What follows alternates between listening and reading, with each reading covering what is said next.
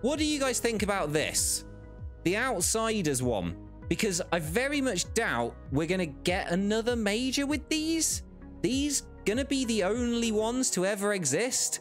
Will they be worth more because they're probably going to be the only time this sticker ever exists? What do you guys think? Any thoughts on, on the Outsider sticker just in case we never get them again? I don't know. What do, what do you lot think? Yeah, I don't even mean like if the sticker's good. I just mean in terms of like as an investment thing when they all go cheap, obviously, like buy them at their lowest prices. But do you think they'd be worth holding on to for like, you know, a year, two years in case we never get this sticker again? Like the Outsiders thing in case this is like the only time? Not really. There have only been a few teams that have only had one sticker. That is true. Quantum Bellator Fire being like one off the straight off the top of my head who boombl4 used to play for. I think that was Boston, maybe? We had the QBF ones. So, you know, they, they, that's a fair example, dude. Yeah.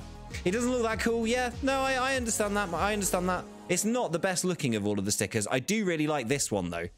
I think the Eternal Fire sticker is really cool. That one I, I am a big fan of, the Eternal Fire logo. I think that's a very, very cool one. Um, QBF was Boston. Okay, yeah, yeah, cool. Yeah, throw some in a storage unit, forget about them. Yeah, that's what I'm saying, man.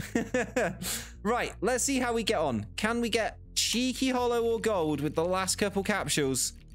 Denied so far. Oh, dude, yes! Nice!